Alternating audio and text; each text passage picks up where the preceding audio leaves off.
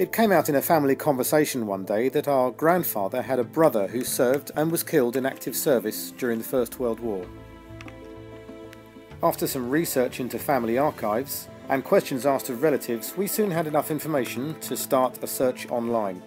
We started with the Commonwealth War Graves Commission website. I planned the routes and set off over the channel and across northern France.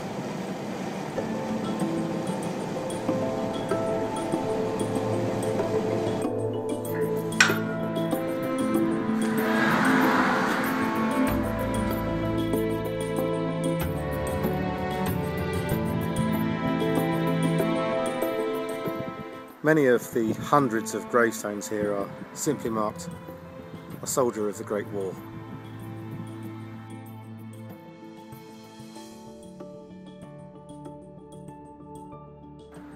The names of those killed in the battles around this area are written on the walls surrounding the cemetery and some of the unknown graves have even been identified over the years.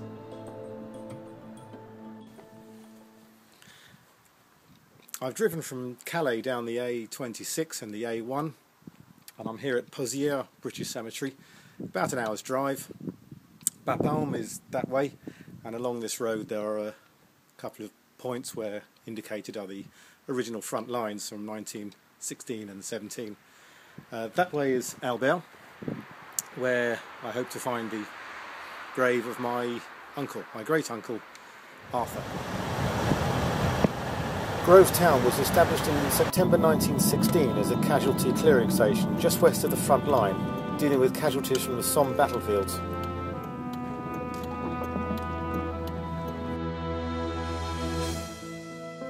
So named by the British, it was known locally as La Demi-Lieue or the Half Mile.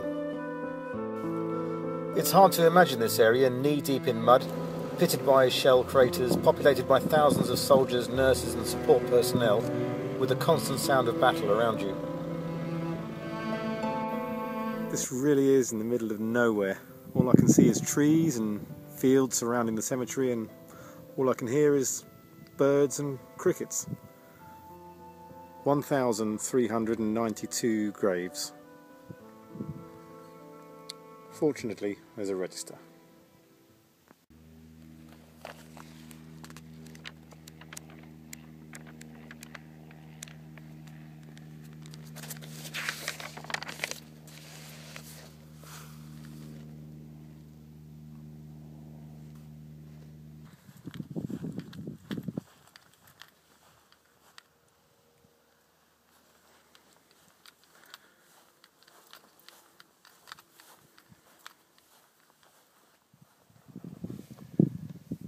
This is Rifleman Pleasants, my great uncle Arthur, my mother's father's brother. All we know is that he died on the 25th of November 1916 of his wounds. On hearing of his death, Horace, his brother, my granddad, decided straight away to sign up.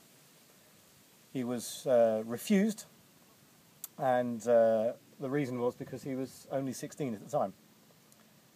So otherwise, I may not even be here now.